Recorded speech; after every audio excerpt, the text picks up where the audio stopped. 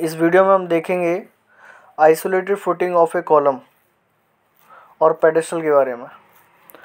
तो ये देखो, किसी एक सिंगल कॉलम की जो फुटिंग होती है, उसे बोलते हैं आइसोलेटेड फुटिंग, जो किसी एक कॉलम के लिए होती है खाली।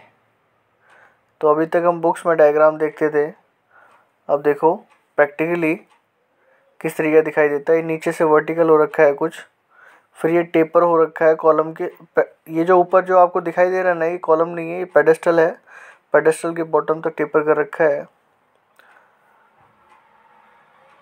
जो पेडेस्टल का क्रॉस सेक्शन होता है, वो कॉलम के क्रॉस सेक्शन से थोड़ा ज़्यादा होता है। इस पेडेस्टल के ऊपर कॉलम आएगा। ठीक है? अब क्या है लोड डिस्ट्रीब्यूशन का क्या पैटर्न है? कॉलम से लोड जाएगा पेडेस्टल के ऊपर और पेडेस्टल से जाएगा लोड इस फुटिंग के ऊपर। फुटिंग से सीधा ज़मीन के अंदर। तो ये यहाँ से दिखाई दे रहा है हमें, ये कॉलम का सरिया है जो ऊपर निकल रहा है। पेडेस्टल का सरिया अंदर ही रह गया, ये कवर हो गया, पूरा पेडेस्टल बन चुका है। पेडेस्टल का क्रॉस सेक्शन ज़्यादा होता है। ये जो ऊपर से हम देख रहे थे क्रॉस सेक्शन था।